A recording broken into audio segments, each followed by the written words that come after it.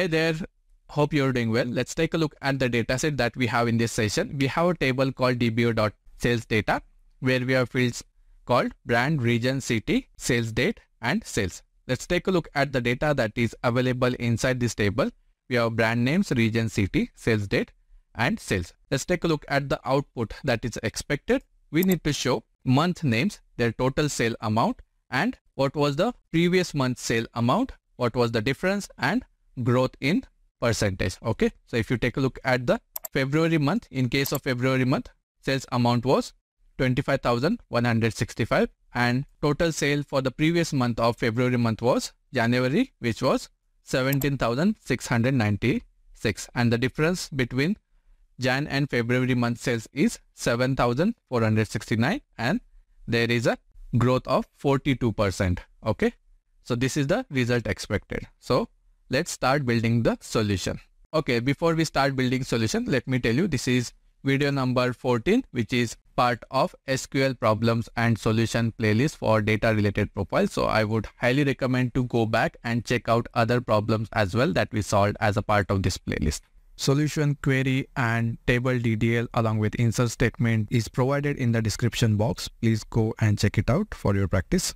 Okay, now let's start building the solution. I will start with select statement from clause dbo dot sales underscore data. I will give uh, this table an alias as s. First of all, we need to derive the month name for each transaction. So I will use date name function to get the name of the month. So interval is going to be month and our field is going to be s dot do we have okay let me directly copy field name okay i will give this column an alias as month underscore name this is going to be our column alias okay i will also derive column number okay so i will use date part function here i want month interval as month and from s dot sale date is the field of sales underscore date uh, data table. So this is not date, it is data.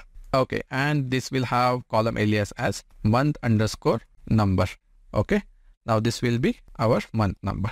Okay, now we got the date name and sorry, month name and month number. Now let's perform the aggregation on s dot sales amount field. Okay, this is the amount field that we have and I will call it as total sale.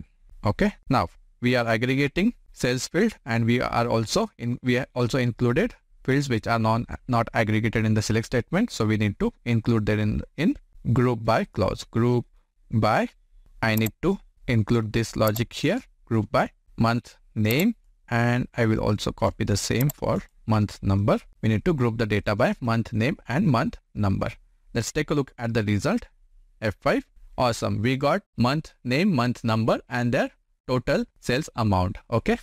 Now we need to get total sales amount for the previous month and then we need to subtract current month date uh, sales amount with previous month sales amount and get the growth percentage. Okay. So I will wrap this query inside a CT. So I will start with semicolon with keyword for CT C underscore month underscore sales as open bracket.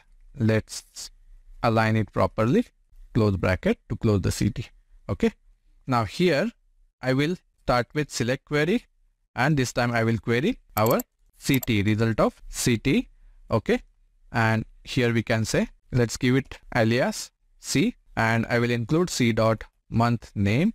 We also need C dot month number. We need C dot total sales. Let's not include month number here because we need to show report by month name. So that is not required. Okay. I need month name and total sale for every month. Along with this, I also want to know what was the total sale amount for the previous month. So for that, we will use one of the window function called lag and here we will provide I want total C dot total sales value of this field, right?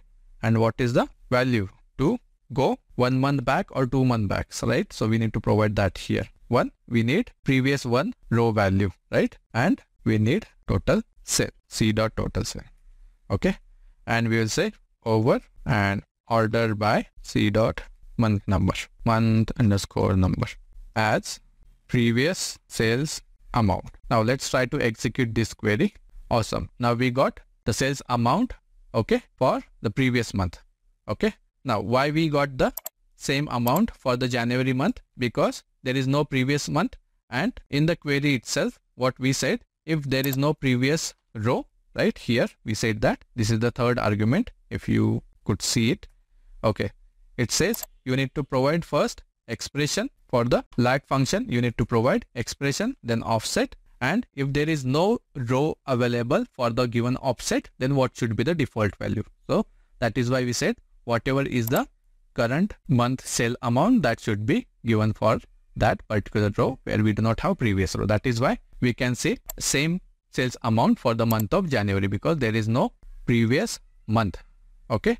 That is why we get same amount and if you take a look at the January we got the sales amount for this column of January month. So we got current month total sale and previous month total sale. Now we need to get the difference. Okay. I will again convert it into CT. So I will call it C underscore previous month as open bracket and close bracket. Let's align it properly. Okay. Now our final query will look like this. Select star, select from our previous CT. Okay. I will call it C underscore pre I will give it an alias little short C and P. This is the alias for the result of previous city. Okay.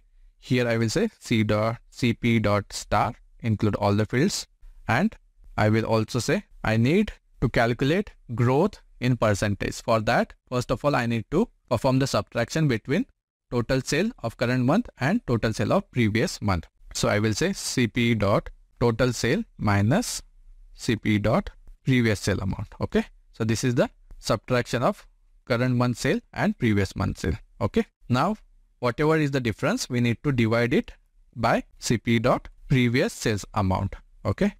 And we need to multiply it by 100 to convert it into percent. Okay. Now, when we get the result, the result is going to be decimal value, right? So what I will do here is I will intentionally cast the result in decimal number.